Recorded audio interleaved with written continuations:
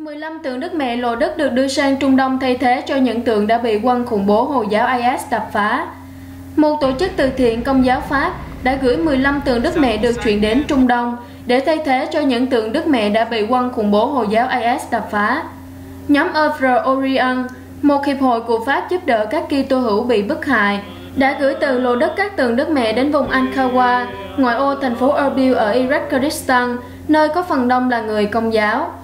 Trang tin Eleteria cho biết, một khi đến nơi, các tượng sẽ được người công giáo Chaldean và Syria rước xung quanh thị trấn trước khi tượng được làm phép và chuyển đến các giáo xứ. Nhóm Œuvre Orion nói rằng, các cuộc rước kiệu sẽ khơi lên hy vọng nơi người dân, như trong sách tiên tri Jeremiah chương 31 câu 17 đề cập. Như thế, tương lai ngươi sẽ tràn trề hy vọng, sấm ngôn của Đức Chúa, con cái ngươi sẽ trở về bờ cõi mình. Vào tháng 3 vừa qua, một nhân viên cứu trợ cao cấp đã gặp những người công giáo Kenyan ở miền Bắc Iraq đang trên bờ vực tuyệt chủng và lên tiếng rằng các nước phương Tây cần giúp đỡ các Kitô hữu.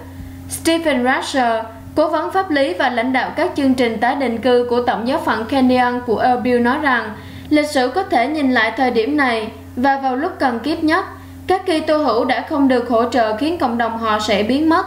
Điều đó hoàn toàn có thể xảy ra. Chúng ta cần phải thành thật về điều này.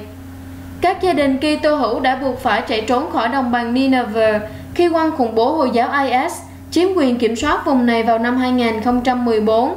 Các Kitô hữu chủ yếu đến vùng Erbil để tìm nơi trú ẩn. Mặc dù nhóm khủng bố trên đang dần mất đi lãnh thổ trước đây họ chiếm được, nhưng hàng ngàn Kitô hữu vẫn đang ở trong thành phố với tư cách là người tị nạn nội địa. Kể từ năm 2003, Số Kitô hữu ở Iraq đã giảm từ 1 triệu 400 ngàn người xuống còn 275 ngàn người.